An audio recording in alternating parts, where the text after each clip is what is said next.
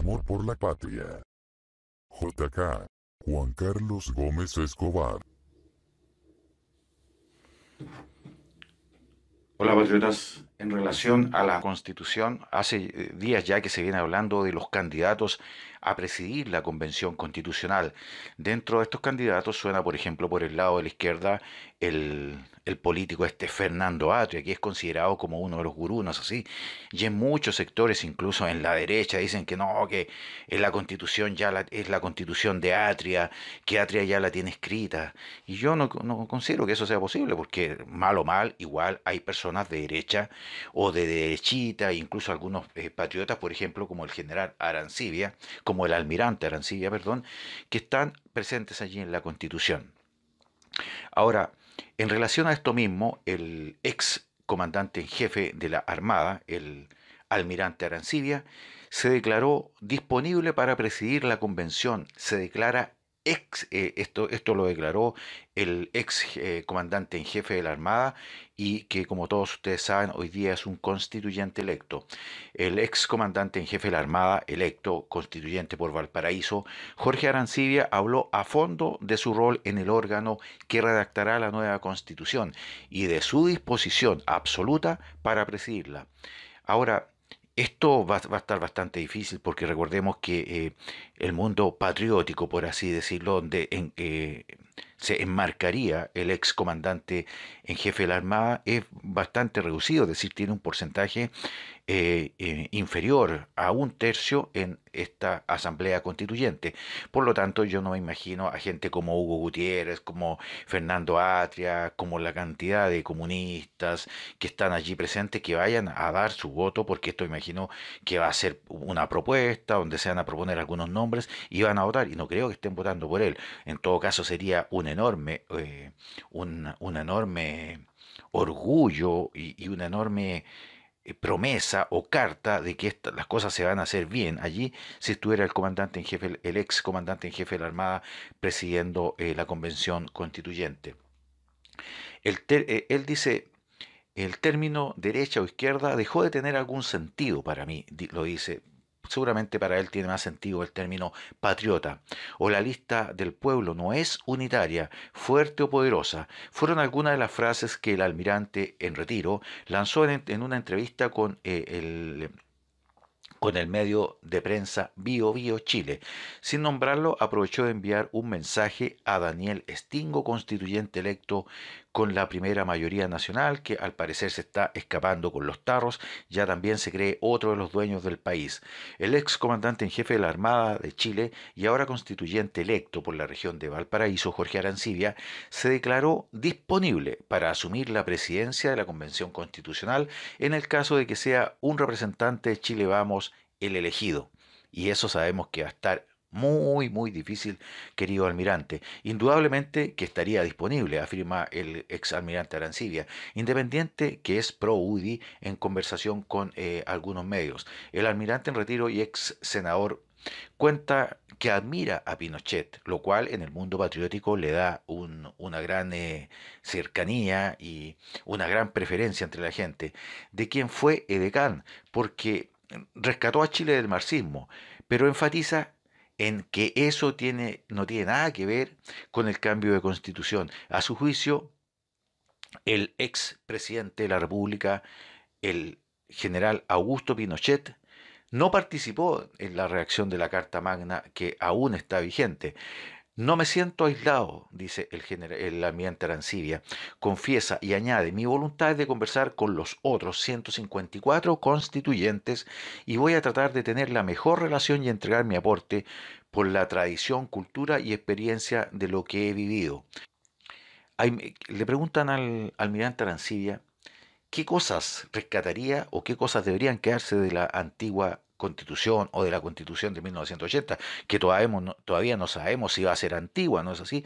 Porque si este plebiscito que se va a hacer, o sea, si esta constitución que se va a escribir por esta gente que no está capacitada es mala y finalmente en el plebiscito de salida es rechazada, bueno, no seguirá rigiendo la constitución de 1980 que finalmente fue validada el año 2005 por el presidente Ricardo Lagos. Él dice que hay muchas cosas de partida, por ejemplo, se debe rescatar o conservar la estructura que tienen los distintos capítulos. Ahora, cada uno de esos capítulos van a tener modificaciones importantes. Ahí hay un esquema de diseño que podría ser válido, dice. en primer lugar, rescata que se podría rescatar el diseño que tiene la, constitución actual.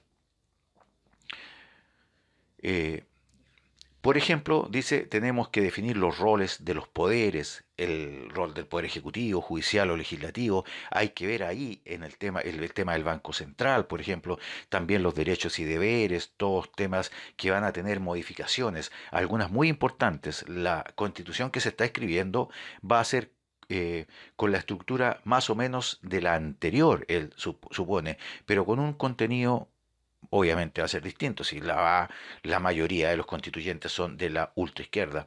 Pero aquí hay un espíritu en, eh, en la del 80, con Jaime Guzmán como ideólogo y aprobada durante el periodo del general Pinochet. De ello, ¿qué considera que se debe mantener? Dice, le preguntan. Y él dice, hay muchas cosas que me gustaría, me gustaría que se mantuvieran, como por ejemplo la autonomía del Banco Central, pero siento que hay gente que quiere asignarle no solo responsabilidad en el tema inflacionario, sino que también algunas responsabilidades en el trabajo. Entiendo que la lista de 26 derechos ciudadanos que están en la Constitución va a tener modificaciones. Quieren incorporar el derecho a techo, a vivienda digna. Vivienda digna suena tan bonito, pero digamos que después, ¿qué significa eso? Porque hay que ser realistas. Esta Constitución es la ley de leyes y de ella se van a derivar las leyes específicas que hay que hay que ser consecuentes, por lo tanto, con eso. Claro, porque acá, eh, supongamos que en la constitución que se va a hacer garantizan una vivienda digna. Bueno, pero veamos qué es una vivienda digna y si dentro del ordenamiento, este magno que se va a hacer en el país, están dando las eh, facilidades para que la economía del país crezca, porque recordemos que la única forma de que se puedan financiar las viviendas dignas y todo esto que está queriendo esta gente es que el país produzca, porque el dinero lamentablemente no crece de los árboles y ese dinero hay que producirlo. Y para, para producir ese dinero hay que facilitar el emprendimiento, hay que facilitar la creación de nuevas empresas, hay que hacer atractiva la inversión extranjera y eso, al parecer, la mayoría de la ultraizquierda no está dispuesto a hacerlo. Luego, ¿de dónde van a financiar las viviendas dignas? Solamente ellos, en su ideología de ultraizquierda, eh, sueñan que lo van a poder hacer, pero si no hay dinero, si no se genera riqueza, si no hay inversión, si no hay productividad, esa, eso, el dinero necesario para esas viviendas dignas no va a estar en ninguna parte. Así que, eh, por lo tanto, podríamos decir que el almirante, el ex almirante Arancibia está dispuesto a ser presidente de esta convención constituyente. Pero sin embargo, lo más probable es que acá, como la izquierda y la ultraizquierda tiene mayoría, sea un representante de ese sector el que la presida.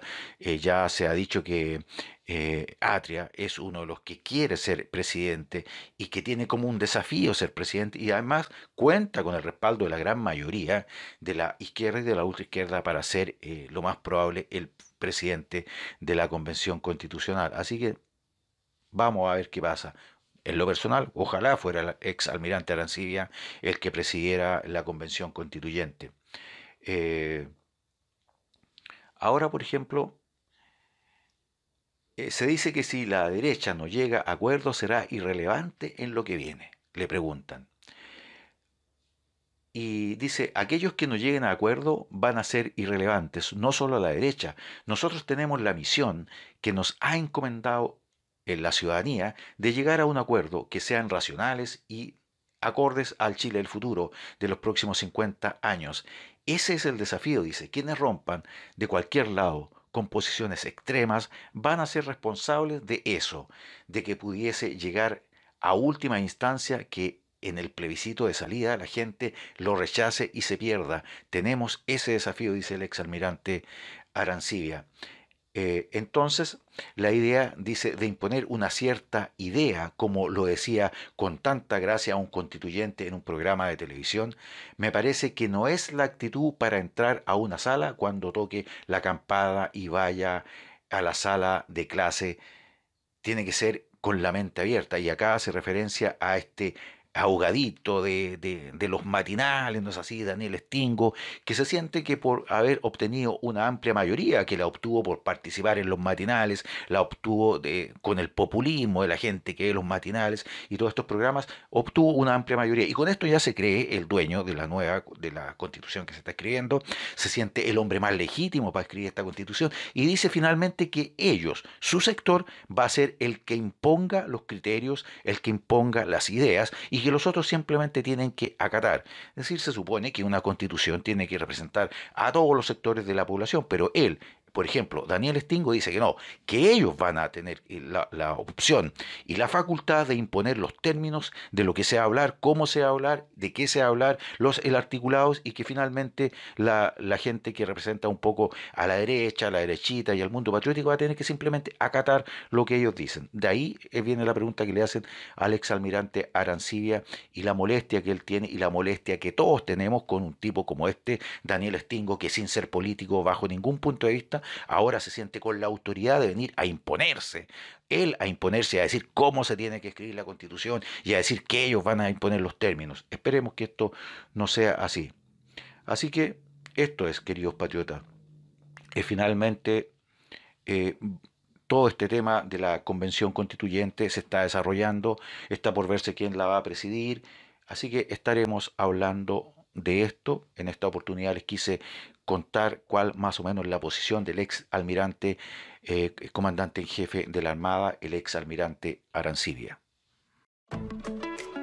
Jaye Propiedades. Invierta en Miami, Santiago, Viña del Mar, Valparaíso, Puerto Montt, Puerto Varas, Miami. Jaye Propiedades. Cumbres Home Cleaning. Todos tus espacios necesitan estar ordenados y limpios. Comunícate con Cumbres Home Cleaning. Coordina una visita y disfruta de tu hogar. Cumbres Home Cleaning. Si eres emprendedor, anuncia con nosotros y llega a miles de personas diariamente. Comunícate con nuestro correo patrianuevachilena.gmail.com